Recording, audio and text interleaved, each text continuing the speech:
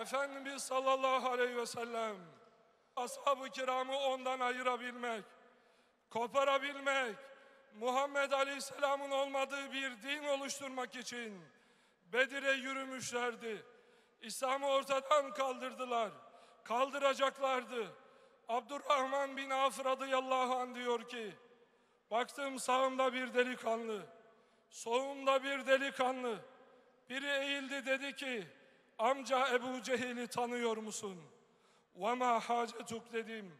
Senin ey çocuk Ebu Cehil'le ne işin olur? Solumda başka bir çocuk. O da dedi ki amca Ebu Cehil'i tanıyor musun? Ebu Cehil'le ne işiniz olur dediğim zaman dediler ki uhbirtu ennehu yasubbu Resulallah. Duyduk ki Ebu Cehil Hazreti Muhammed'e sövüyor sallallahu aleyhi ve sellem. Onlar oradan atıldılar düş Ebu Cehil'in üzerine gittiler. Muaz bin Amr radıyallahu an orada kolunu kaybeder. Muaz bin Amr'ın kolu kesik. O halde Hazreti Muhammed'i korumak için aleyhisselam.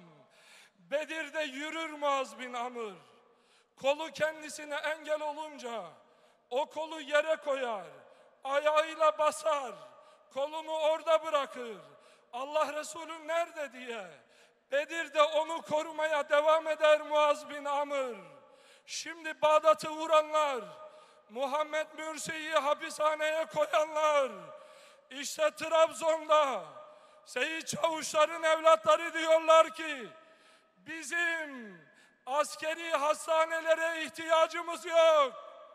Kollarımızı kopardığınız zaman bizim anesteziye ihtiyacımız yok. Biz eğer söz konusu Hazreti Muhammed'se kollarımızla başımızda teferruattır ya Rabbi deriz.